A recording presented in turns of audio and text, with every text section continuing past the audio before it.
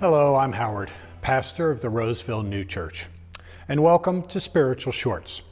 We're wrapping up our November series on marriage, a timely topic given that Australia's peak wedding month is November. So let's dive in. In his work, Conjugial Love, Swedenborg paints a grim picture of true spiritual love in marriages today. He suggests that such a love is rare, almost unknown. Further, he suggests that marriage and spiritual life are clearly linked, so much so that progress in one is progress in the other. This observation holds a mirror to our current societal trends declining marriage rates and a decrease in church attendance. You know, in Australia, where marriage rates are near all time lows and divorce rates near all time highs, weekly church attendance now is only around 8%. It's a stark decrease from past decades.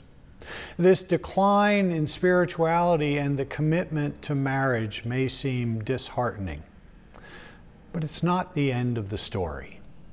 You know, despite these challenges, we must remember the resilience of our spiritual journey.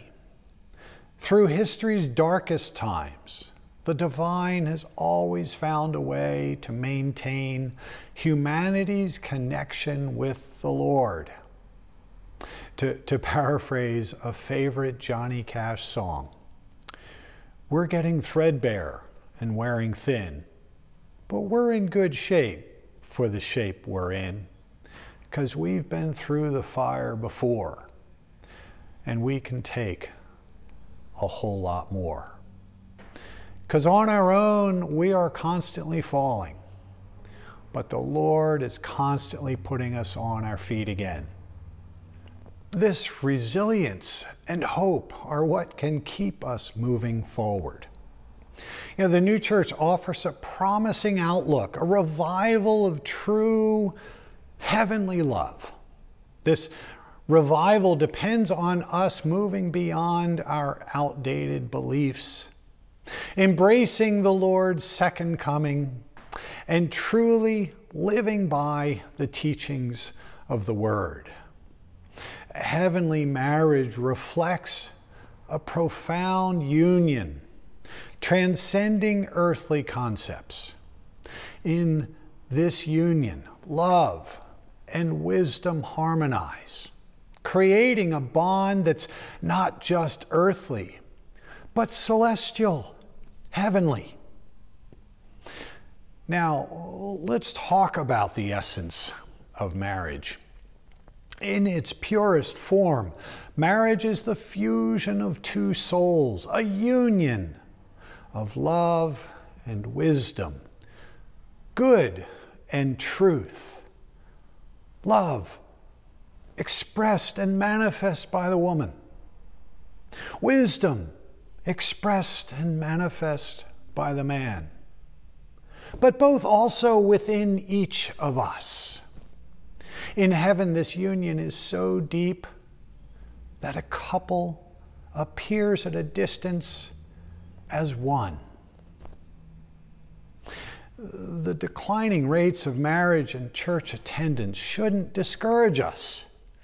Instead, they should motivate us to pursue a deeper understanding of what love is and what spirituality is. Remember, true marriage isn't just about the physical world, it's a celestial bond that lasts to eternity. We're all on a journey to fulfill our spiritual purpose, to find that divine union, both within ourselves and with our partners. The new church teaches that even if we don't find our soulmate in this life, the Lord will provide the right partner in the afterlife, ensuring our complete happiness in heaven. So, as we wrap up this series, let's carry this message of hope and resilience. Let's commit to nurturing love and wisdom in our lives, for those are the seeds of heavenly joy. Thank you for joining me for this episode of Spiritual Shorts.